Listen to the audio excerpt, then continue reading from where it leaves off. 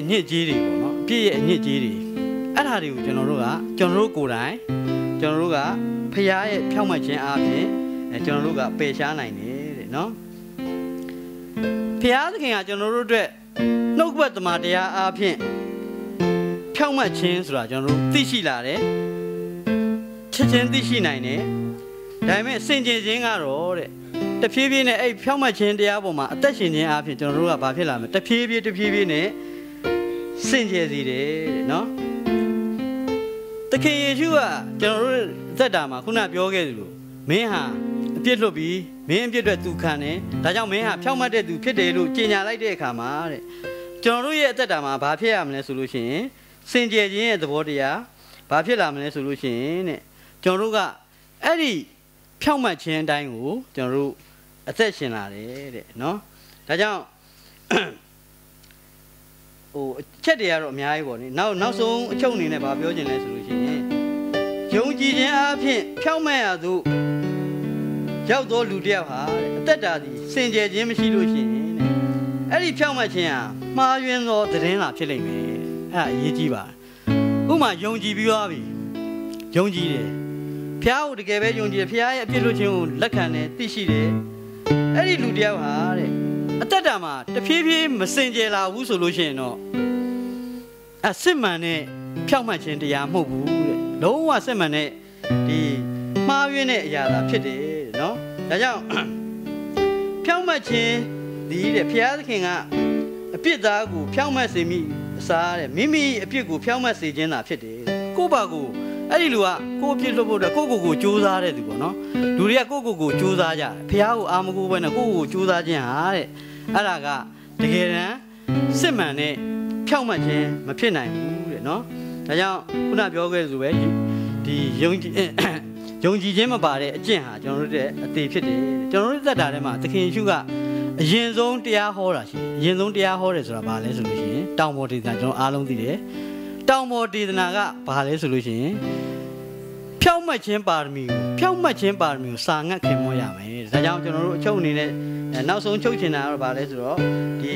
အဖြစ်ပြက်လေးတစ်ခုနဲ့ပေါ့နော်အဖြစ်ပြက်လေးတစ်ခုနဲ့ကျွန်တော်ဖတ်ပြပြီးတော့အဆုံးသတ်ချင်ပါတယ်လို့ကဘာကျော်တဲ့အေးဝင်ကြီးဆရာကြီးဘီလီဂရေဟန်ပေါ့နော်ဒီနေ့တိုင်အောင်တဲ့သူတို့သတင်းကောင်းတွေဟောကြားနေအခုဆိုရင်ကျွန်တော်ຫນွေမာလာထဲမှာသူ့ရဲ့သားလာပြီးတော့ကျွန်တော်တို့အဲ့ဒါနဲ့တဲ့လူတယောက်ကဘာပြောလဲဆိုလို့ရှိရင်တဲ့ဒီခမည်းတော်ဟာတဲ့16ရာစုနှစ်တုန်းက အတိုင်းပဲမပြောင်းလဲသေးဘူးပေါ့နော်မပြောင်းလဲသေးဘူးခမည်းတော်ကခက်နောက်ကျနေပြီခမည်းရဲ့တရားဟောချက်တရားတခါလာလဲကဲတင်ခြင်းတခါလာလဲကဲတင်ခြင်းတခါလာလဲယုံကြည်ခြင်းစသဖြင့်ပေါ့နော်အဲ့ဒါနဲ့တဲ့သူကဘာပြောလဲဆိုလို့ရှိရင်ဘီလီဂရန်ကဘာပြောလိုက်လဲဆိုလို့ရှိရင်တဲ့အဲ့ဒီညမှာကျွန်တော်ကတဲ့ခမည်းတော်ကိုတည့်ရာစုတည့်ရာစုဆိုတာတမန်တော်ခေတ်ကာလကိုပို့ပြီးတော့လောင်ရောက်စေခြင်းတယ်တမန်တော်ခေတ်ကာလကို ပို့ပြီးရောက်ပြောချင်တာကဘာလဲဆိုလို့ရှိရင်ဟိုနိုးကြိုင်လောက်တာကိုမန်နေကတော့16ရာစုနှစ်တော့တကယ်ပဲအသင်းတော်တွေကရှင်သန်ပြီးတော့နိုးကြပြီးတော့တာနာပြုပြီးတော့ဒီကျွန်တော်တို့ဒီဥရောပဘက်ကနေကျွန်တော်တို့ဒီဘက်အာရှတိုက်ဘက်ကိုတာနာတွေအကြီးအကျယ်ပြုပြီးတော့ဒီနိုးကြနေတဲ့အချိန်ပေါ့နော်အဲ့ဒီအချိန်ကိုခင်ဗျားတို့ကအဲ့ရနေအစ်မပြောင်းလဲတော့ဘူးเนาะအဲ့ဒါကိုသူတို့ပြောတဲ့အဖွဲ့တွေကတော့ဟိုဘယ်လိုခေါ်မလဲအခြားသော ဘယ်လိုခေါ်မလဲယုံကြည်သူတွေကပဲဟိုဖွံ့ဖြိုးရေးလုပ်ငန်းတွေတို့ဘာလို့ဦးစားပေးလုပ်တဲ့လူတွေအဲ့လိုပြောတဲ့အချိန်မှာ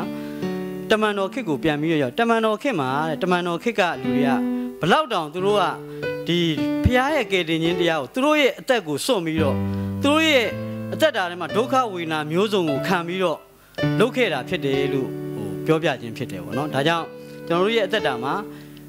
ဒီနေ့ဖရားသခင်ကကျွန်တော်တို့ကို ရှင်ရှင်မသက်ခရုံအခန်းကြီး9အငယ်16မှာဖြောက်မှတ်ခြင်းပါရမီကိုစာငတ်ခင်မွန်းရမယ်သူကထပ်ပြီးတော့အခန်းကြီး6ရောက်လာတဲ့အခါမှာဖြောက်မှတ်ခြင်းတရားကိုရှေးဥစွာရှားရမယ်ကျွန်တော်ရဲ့အသက်တာမှာတကယ်ပဲဘုရားသခင်ကကျွန်တော်တို့ပေးတဲ့ဖြောက်မှတ်ခြင်းကိုကျွန်တော်သိမယ်အဲ့ဒီဖြောက်မှတ်ခြင်းနဲ့ထိုက်တန်တဲ့အသက်ရှင်ခြင်းကိုအသက်ရှင်မယ်အဲ့ဒီအခါမှာကျွန်တော်တို့ကစစ်မှန်တဲ့ခရိယန်အသက်တာတွေနဲ့တကယ်ပဲဘုရားသခင်နဲ့သခင်ယေရှုနဲ့နှစ်ဖူးတွေ့ဒူးတွေ့ တွေ့ရတဲ့အချိန်ခါကျလို့ရှိရင်ကျွန်တော်တို့ကိုဘုရားသခင်ကကျွန်တော်တို့တန့်ရှင်းတဲ့သူအနေနဲ့ဖြောက်မှတ်တဲ့သူအနေနဲ့ဒသတ်မှတ်ပြီးတော့ကျွန်တော်တို့ရဲ့အသက်တာနာဂတ်ကိုကျွန်တော်တို့ရှောက်လန်းကြပါစို့လို့နှုတ်ဘတ်တော်အားဖြင့်အနည်းငယ်ပဲအဲဖော်ပြလိုပါတယ်အားလုံးကိုအထူးပဲကျေးဇူးတင်ပါတယ်အားလုံးပေါ်သို့ဘုရားသခင်ကောင်းကြီးပေးပါစေ။